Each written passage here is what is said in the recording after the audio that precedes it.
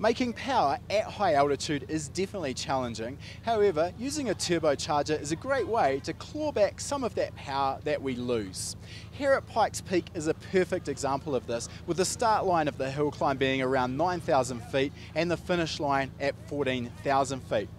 The reason we make less power at high altitude is due to the low air density. This means that for a given volume of air, there's simply less oxygen available, and it's the oxygen that the engine relies on in order to produce power. The turbocharger can overcome this to a degree by physically forcing more air into the cylinders and if we can maintain a relatively consistent manifold pressure all the way from the start line to the finish line we should also maintain a consistent engine power. What is easy to overlook here though is that in order to do this and maintain a constant boost pressure in the inlet manifold as the altitude increases and the barometric air pressure drops we're actually driving the turbo harder and harder. It's not just the the pressure at the outlet of the turbo that's important. What we also need to consider is the pressure at the inlet.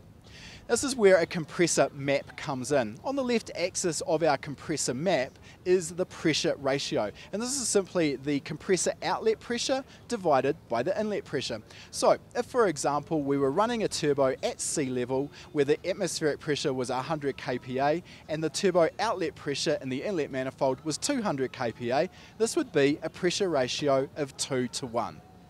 If we run that same outlet pressure of 200 kPa though at the top of Pikes Peak where our barometric air pressure is about 60 kPa, the pressure ratio that the turbo is now working at climbs to almost 3.5 to 1. This is obviously a massive difference and it puts us in a completely different area of the turbo map. This is where the turbo sizing comes into play. And if we're sizing a turbocharger specifically for a high altitude event such as Pikes Peak, it's likely that we may choose a compressor map that is more efficient at a high pressure ratio compared to what we'd choose at sea level, given the relatively modest boost pressure. Another aspect that comes into play here though is we also need to be very careful in monitoring our turbo speed. This is something that's often overlooked. And a turbo speed sensor allows us to log and see what the turbo speed is doing. This is another key parameter that we'll find on the turbocharger's compressor map. By monitoring the pressure ratio as well as the turbo speed, we get a better idea of exactly where we're operating in the compressor map. We'll also find that for every turbocharger, there is a critical speed. And if we go over that critical speed, we actually risk damaging the turbocharger. So particularly if we are driving the turbo very hard at high altitude, this can be a serious problem and we do need to monitor it.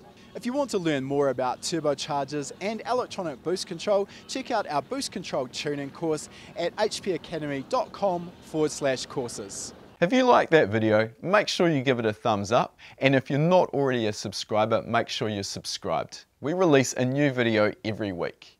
And if you like free stuff, we've got a great deal for you.